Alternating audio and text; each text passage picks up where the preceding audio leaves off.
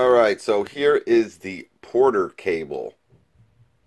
20 volt, half inch impact wrench. Um, you know, the first thing I noticed, obviously, when I, I took it out of the box, is it looks very similar to the DeWalt brushed impact wrench half inch that came out a long time ago. Um, I like it. You know, can I recommend it at the price point? Um, you know, what is good, you do get a 4 amp hour battery. And like I said on Instagram and on other videos, Porter Cable's batteries are pretty expensive. Um, you know, I've seen this one battery, this 4 amp hour battery, for $99 at Lowe's. So, obviously the price might come down to 89 or 79 when they have sales, but it's a pretty expensive uh, battery, and they're they're kind of hard to find also. So, you know, if you're looking for an extra battery, a 4 amp hour battery, this kit might make more sense, but it's $160. And, you know, right now at Home Depot, you can get the new brushless Ridgid half inch, um, you know, four speeds on it for 159 um, You know, it's 450 foot pounds compared to 330 with this one. Um, just to go over some of the specs, like I said, it's 330 max foot pounds. Now that's tightening. It's not nut busting. Usually with nut busting torque, you're going to get a little bit more. Probably around the 400 to 425 range. Again, that's just a guess. Um, you got 1700 max RPM, 2500 um, IPM impacts per minute. It's six pounds with this battery on it. So it's, it's not heavy. It's, it's, you know, the big thing is it's just a huge impact wrench. Uh, it's 9.9 inches.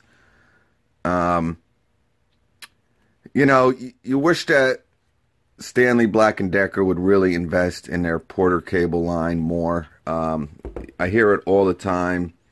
Um, you know, the reason why Porter cables, people love them, is because they're made – you know, kind of just like DeWalts are made. So you're kind of getting that DeWalt craftsmanship to a degree, um, but with the Porter Cable name on it. So, I mean, I don't think I've come across a brand that has such a cult following than these Porter cables. Um, but they are, they are, they are good. But in this particular case, the price point of this, it, it's again, it's hard to recommend it. Um, it is brushed. There's no speed settings on it. I just think there's better buys. But if you're in a Porter cable platform um, and you have the batteries, you could buy this as a bare tool for like $119, I believe.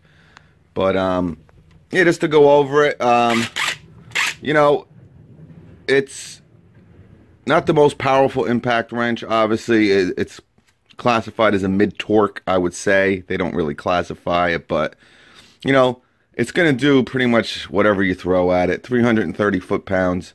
Um, obviously, if you need anything more than you know 330 foot pounds, you're not going to be using it. But if you use it for what it's intended for, you're going to have no problems with it. Uh, it's got a nice grip on it.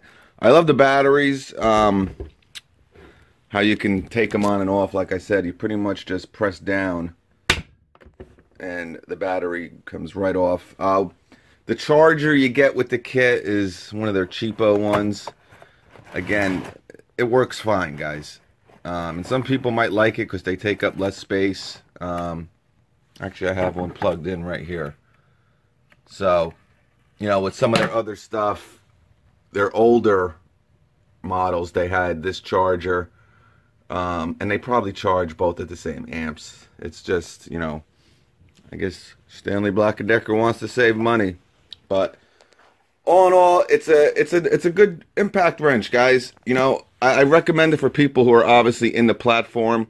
If you're not in a platform, um, you know, I think there's better buys. That Ridgid, you know, you get the LSA, you get a four amp hour battery. Again, a brushless impact wrench with substantially more torque. You know, 450 to 330. You get the four speed settings, but um, you know, it's uh, I, I, like the hog ring on it. It's really hard to get the sockets on. Uh, that's very common when you know it's brand new. But I like that. you know, they're hard to, to get on, so they're hard to get off. Um, I like that. The one thing with the Ridgid Gen 4X impact wrench, another gripe on that one is the sockets, they don't stay on the anvil. They just come right off. Um, and that's a detent pin too. So that's that's kind of weird. Um, but all in all, great. You got some nice rubber overmolds to protect it. Um, on the sides here in the back. Again, the grip's real nice. You got a light on the bottom. Again, that seems to be getting popular again. It's on no delay, so once you let go of that trigger, the light's going to go off. So that's another, you know, it's just, you know, like I said, it's really the old DeWalt brushed impact wrench. Um, you know, that's been out a long time. They kind of just changed some of the, the plastic and the rubber overmolds on it. Looks very similar. But all in all, I like it. If you're in the Porter Cable platform, I mean, if you can get it for, you know, $129 with the battery, I'd say go for it. Um, you know, the, another thing, the, the, the Ryobi right now, people have been commenting on my videos that it's $99 with the 4 amp hour battery. So this is 160, you know, and with the Ryobi, you're getting, you know, three speeds on it. You don't get really any speeds with this. I mean, that's, uh, you know, when it comes to the speed settings on impact drivers, it's kind of cool to have that. But on impact wrenches, I think the speed settings are really important.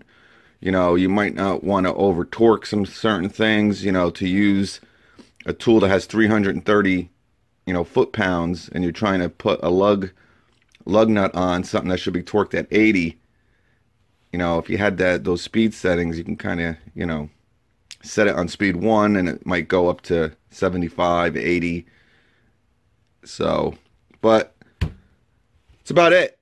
Uh, you can get it at Amazon. I'll put the link below if anyone is interested. Um, again I think if you're gonna get this if you're in the Porter cable platform you're really looking for another 4 amp hour battery.